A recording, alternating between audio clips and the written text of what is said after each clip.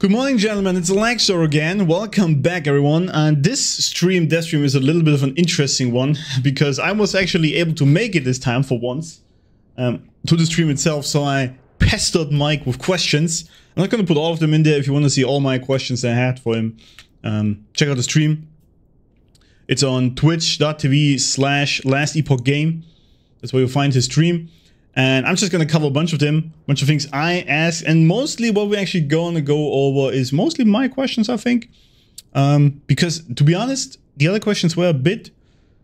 We already covered all of this already. So this is not just for bragging rights or because I like myself so much. It's just because I had some different questions um, for once. But let's first start right away with the first teaser. I'm not even going to let him talk here. Um, the first league, rather, for the next cycle was Circle of Fortune rank 10 has been reworked. Right now, for example, in the COF, if you have rank 10, which actually takes a while to get there, right?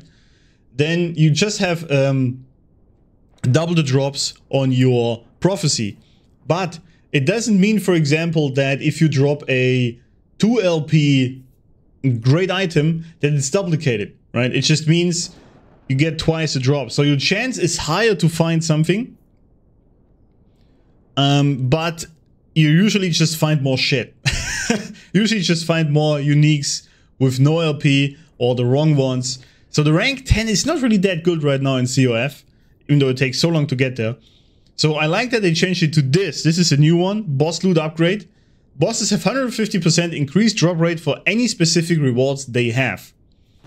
That is awesome because if you feel like I needed I don't know 15 or 20 attempts on the Emperor of Corpses to finally get my Twisted Heart of Ukeiros. That took so long and with this we now have a higher chance that they actually drop the good stuff. That's all we want, right? And it's actually 150% is quite a lot. So I like this a lot. That's a great, great change. Uh, will 1.1 show the corruption level on each monolith on the map? I don't know if we've actually added that. Uh, there was, uh, there was things that happen in a design meeting where it comes up very briefly and you talk about it you can't quite remember what you landed on. That's what's happening here. Um, I think we talked about it. I think there was a reason why we can't do it.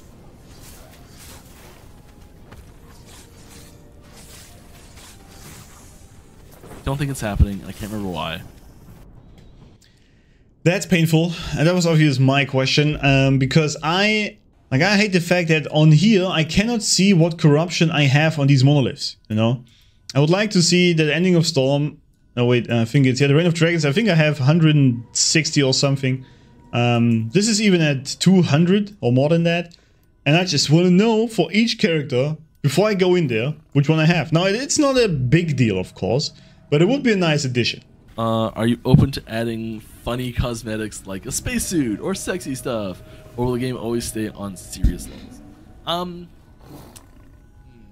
I don't like funny serious is generally not the axis that we that we tend to look at there. More of a um, like like in universe doesn't make sense. So like uh, spacesuit and sexy stuff probably not. Uh, that's the sort of stuff that we are very uh, we're intentionally avoiding. Um, but you know, like having stuff be a little bit of a joke, uh, I, I, think that's the sort of stuff we're, we're, we're open to. Um, you know, I think having. Uh, yeah, th- things that are like maybe, maybe poking fun at Last Epoch itself. Maybe there was like some bug that happened, uh, and and having like a cosmetic that goes along with that bug or something like that. Um, but still like makes sense in universe. I think is the important part for us. So like we're still um, because there's no astronauts in Eterra. Uh, we, we we don't want to have a spacesuit, you know. I think that's a bad decision in my eyes. Um, and Aaron also said that apparently they have said before that they will never do the um, what's it called, the Lost Ark kind of stuff. So let's go for Google Lost Ark sexiest outfits, for example images.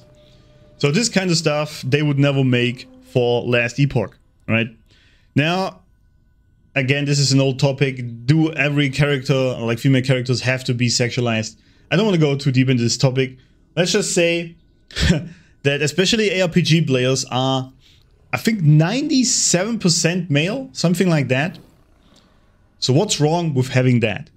Because the, the problem I have with this is, why do games always have to be so serious, right? Of course, this is not Fortnite, and I don't want this to be Fortnite in any stretch of the imagination. But what's wrong with a funny, cool, or even sexy outfit for the characters?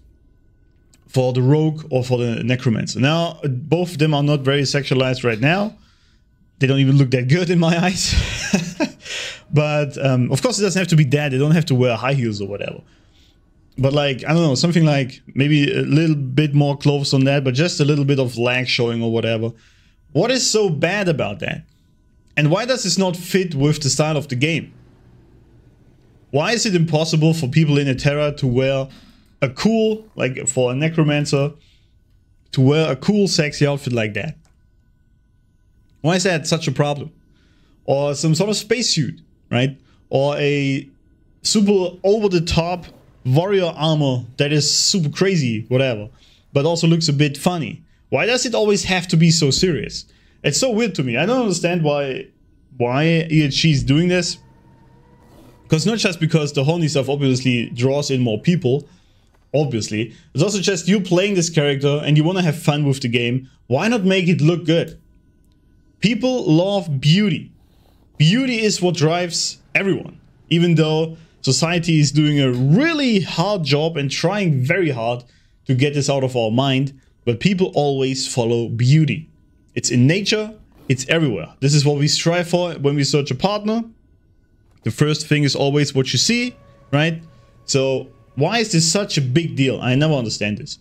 And especially because later people also mentioned that future cities are technically possible or still on the table for like echoes that you have sky skyscrapers or whatever because it actually is time travel right in last epoch so this is possible but spacesuits are not possible because it doesn't fit the game. So I think this is not because it doesn't fit into the sort of Eterra kind of thingy. I just think they don't want to have this. Do I even say it? Yeah, I think they are afraid or maybe they are even driven by some sort of consultant company. Maybe. Um, there was something before with EHG um, with another charity, which was definitely against the whole Gamergate thing of people pushing back against all the trans stuff or woke stuff being pushed in their games, and they just want to have good-looking female and male characters. So I don't know if this is really a thing for EHG, right? But it sounds a lot like by how, how they deal with it. Now they could just not care about all this stuff and just want to, don't want to have anything like this in their games. But I don't understand the reason, right? What's wrong with that? If people like it, and people have been asking about the gender swaps a lot for all the characters, like a female paladin or a male uh, rogue assassin kind of stuff. Um, they still said they won't be doing it yet. Um, so this will most likely never happen. But what's wrong with that, right? I mean, what? Like literally, the question is, what is wrong with that? Why does this not fit into Eterra? Why could the Necromancer not wear something like that? So, in my eyes, the argumentation is pretty much flawed what he's saying there. I don't believe that at all. That it doesn't fit. Um, because you could, could easily make it fit into the game. There must be another reason why they don't want to have it. Whatever. Since you have time travel in the game, have you ever thought about going into the future? Oh, yes. Uh, like in a big skyscraper city for an echo. Uh, I know swords don't quite fit there, but still. Yeah, there's. Um, yes, we have considered going to uh, to the future it's it's not off the table. It is possible. Um, I w- I wouldn't expect it anytime soon. That's sort of a like we've we've done we've, we've been around for for five years and we've done the, the storylines we had planned for the the eras that are here and we're like looking to branch out and try something that's a little out there a little wacky a little different um, you know it's it's it's a, a time like that that we'd more be interested in, in looking at the options that are out there for us, and, and those those are potential things we could look at. Whoops! I didn't mean to do that. Specifics. Okay. Um. So yeah, there it is again. Pretty much what I said before. first of all, it's not off the table. That's great because I would love to do that. On the other hand, again, doesn't make sense for me that you can go into the future with skyscrapers or like current time even, if in or any sort of era in Eterra. Like it has the ancient times with dragons, but why could it not have the future with like proper buildings, right? I mean, we have buildings in here, as you see on the screen. There is a divine era where people had buildings. There's the ancient era. Um, there is the immortal era and all this. So people had buildings. So eventually human civilization would figure out how to make better buildings over time, right? I would guess, even with all the magic happening. Of course, this is all fantasy and fictional, so it doesn't have to go that route. I get it. But it would be cool, wouldn't it? Then again, it's been five years, he said, since they've been around and they still haven't done it. Because they're set with the arrows if they have to right now. This is kind of discouraging when it comes to this stuff. But I think if they would do this, this would probably be in three years two, three years. When they've done everything of the core game, they have all the core stuff in there, and then just have time on their hands to do new stuff, that crazy stuff, then they will probably think of going into the future with echoes or whatnot. But still not gonna do spacesuits, right? That's just weird. And this is again why I don't buy this uh, explanation that it doesn't fit the Eterra um, style. Uh, will we get void damage for all classes eventually? Um, maybe. Uh.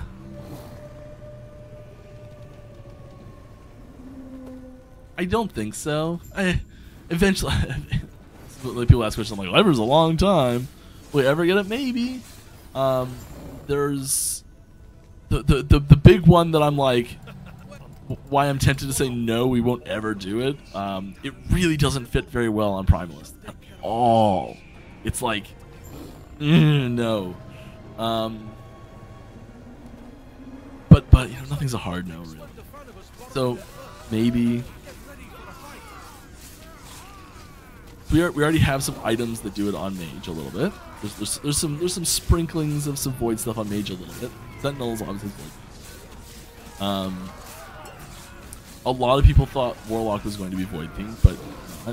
Um, but I think that shows that there's at least a community uh, desire or uh, feeling that it's thematically appropriate at least. Um, yeah, key thing, Mike. Key thing. There's a community desire to do that, and I'm sure there's also community desire to have different genders for, like both genders for the characters, right? Or maybe some cool skins. I'm not gonna ramble on this whole whole video, okay? But just it just doesn't make sense to me. Anyway, interesting though. Um, they wanna add void damage. He didn't say no to all of them. My question wasn't really. I mean, I asked if all classes will get it. I was just more sort of the idea if void damage is being pushed on other classes as well. For example, right now for the mage, for the mage items that do it. There's I don't know what it's called. this, the staff that gives you void damage and it turns your volcanic orb into void. And I'm gonna post a build about this as well with the spell blade. Actually, kind of cool. So there are some things where I can do this already. The problem is in this game it still is. In most cases, if you switch a damage type with an item, it's usually worse than the original dam damage type. Um, because all the not all nodes fit on this properly and all that. So I was just wondering if there will be masteries. Maybe I should phrase my question differently. Masteries for all the classes that will eventually have some sort of void theme. Um, I can see why they wouldn't think of this yet, but in this case, even a corrupted primalist could have that in my eyes that could spawn I don't know void void scorpion or whatever um, I, I could totally see this happening that he's been corrupted through time through things why not right? It can happen to anyone. So um, I'm a bit different on this. I think it could totally be happening but it wasn't a hard no. I know it's not coming anytime soon by the way he phrases it if anything it's gonna be with items. And he said new masteries will be coming but it's gonna be a while. So um, right now we're really sort of getting trickled new stuff, but if you come back to this game in like two years, I think there will be a lot of great stuff for it. Even the crazy stuff. So um, yeah, it's just nice to hear that they are thinking of it and it's not a hard no on these things. There is a second teaser for Cycle 2. And this is Mage base class, apparently. Resurgence. If you start channeling Disintegrate while having at least one stack of Lucomancer, it starts at tier 2. If you also have the Amplification node and at least two stacks of Lucomancer, Disintegrate starts at tier 3 instead. So I don't know what these other nodes mean, so this doesn't really tell us that much in my eyes, uh, like the Lucomancer. I don't know what that is. I think that's a new one as well. But what I like about this is, like they already posted a screenshot of the reworked Disintegrate passive tree. So that's going to change a lot for the mage. And I kind of like that they're also looking a little bit into channeling abilities because currently they are pretty bad, most of them because in last epoch it is still important that you are moving most of the time to avoid damage or to even gain damage right? So um, channeling abilities I still feel a bit lacking in most cases because it's you always just at such a disadvantage if you stand still especially depending on the items because uh, the items the enemies because they are a lot of items do have especially rare uh, item uh, rare bosses. I can't talk man. What the hell they do have a lot of sort of AoE damage you have to avoid because it does a lot of damage. Like if you think of the Lightning Elemental, right? Uh, or the Scalebane Saboteur. This is damage you can just dodge by moving, and with this you can't. So the Ghost Flame for the Necromancer, uh, the Acolyte rather, does it really well. That's a good channeling ability right now.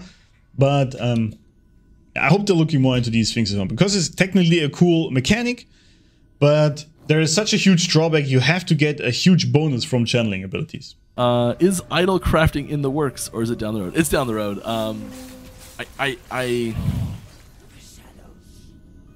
we, we, we, we, have not set in stone what idol crafting is going to look like yet. Um, at some point, there will, will very likely be some way to affect the stats on your idols in some form or another. Um, my personal favorite for that right now as a dungeon reward um, possibly as a series of dungeon rewards or like uh, dungeon with multiple entrances that can do different things based on which one you go to or you know, uh, I, I, don't know how, how it would look but I, I would personally really like to see it uh, in the game. And I think the best way to add it is as a dungeon reward.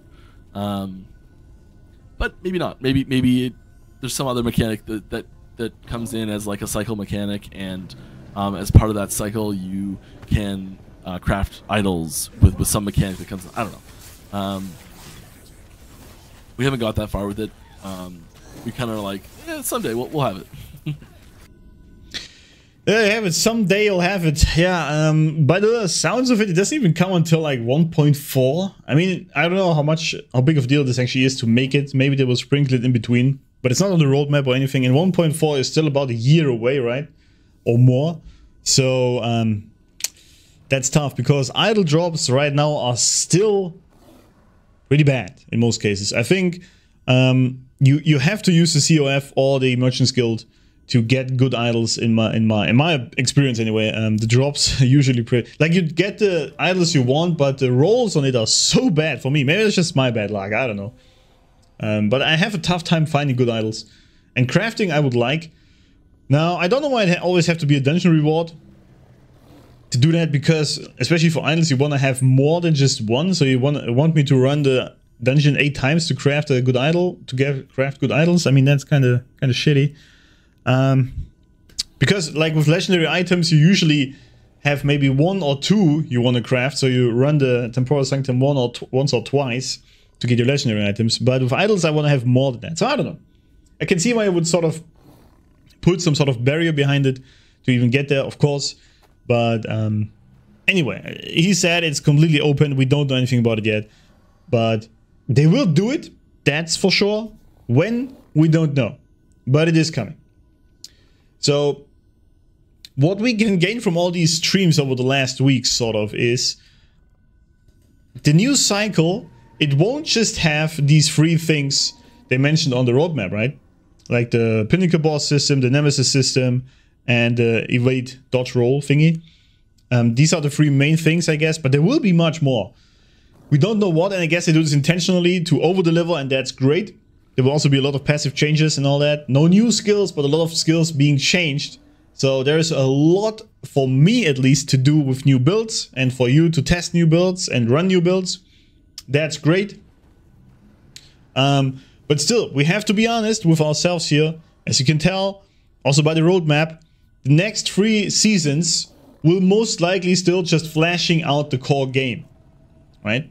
There is no. I mean, there is new content coming, right? But it's not like a, a, a new season for Path of Exile right now, for example, that just adds new crazy stuff because the core game has been done for 10 years, right? So don't make the mistake to expect the same level of that. Because even though Last of, Last of Epoch, Last Epoch has been around for five years already in beta, and they've come a far way for sure. Still, the core game is being fleshed out. If you look at the roadmap, 1.4 I think is gonna be sort of the the measure stick. At that point, the core game is finished because then you also have the transmog system, right? And then in the background, it just got locked out of last epoch, huh? and then you can focus on doing new stuff. I hope, I really hope we also get the both genders for the classes with 1.4 before that because I think that's actually a big thing for people because people, especially with the transmog system, right? So I could see that happen simultaneously.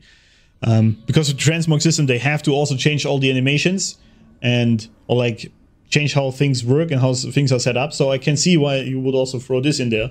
So maybe with 1.4. And people just love to customize the characters, right? Because after all, if you play a role-playing game, it's not just because you want to have fun with that. It's also because you want to escape reality and sort of live a fantasy where you are the hero in this game. So you want to sort of either I don't want to create a character that is yourself, like a sort of like living that character with a male assassin, rogue, or whatever, even like a male necromancer, if this is your kind of stuff. Or you just want to live uh, a fantasy as the other gender, right? Because if you're a man, you cannot be a woman, right? So living that out in this game as a female character, for example, is just something that drives people. And you, you see this, every ARPG really has this. So I think Last Epoch is sort of the only one where you can't do it. And if you look at Lost Ark, for example, when you can switch the gender of the character itself, then you have male and female as just classes, right? Like you have the warrior as a male and a female. It's not that you can swap the gender in between the class, you just have both classes with the different genders. So I think this is important. It may not it may not look like it because you, of course I want to focus on gameplay more than that. I think games after all are for people to escape and to live fantasies and to live in a dream world where they can try new things for example being a woman because in real life you can't so um, i think this is much more important than he gives it credit to let me know in the comments what you think of that i think um, they should actually focus a bit more on that because that also draws people in um, but yeah let me know what you think of it this was it for today. Let me know in the comments what you think of it. I will see you next week with the same stream, but also check out the coming videos. I have a lot of great builds, build guides planned still. And of course, going towards the cycle, the next cycle on July 9th, there will be a lot more Last Epoch content than usual already anyway, right? Because why not? I see you around.